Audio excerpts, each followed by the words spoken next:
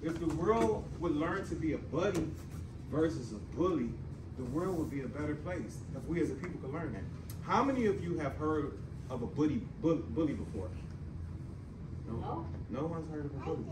How many of you have heard of a buddy before? You've heard of a buddy? What is a buddy? No.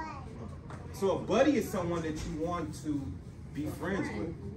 And a bully is someone you want to stay away from. So being a bully Being a bully is not cool. is not cool. Being a buddy Being a buddy is cool. is cool. How many of you have heard of a bully before? What is a bully?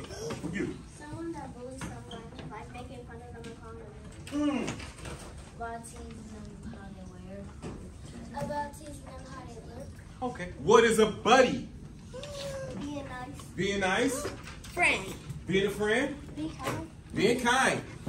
Being a buddy Being a buddy and not a bully. is not a bully. Being a buddy Being a buddy and not a bully. is not a bully. Bullying is not cool. Bullying is not cool. Being a buddy is cool. Being a buddy is cool. Here is my bullying team. Bullying team, talk to them.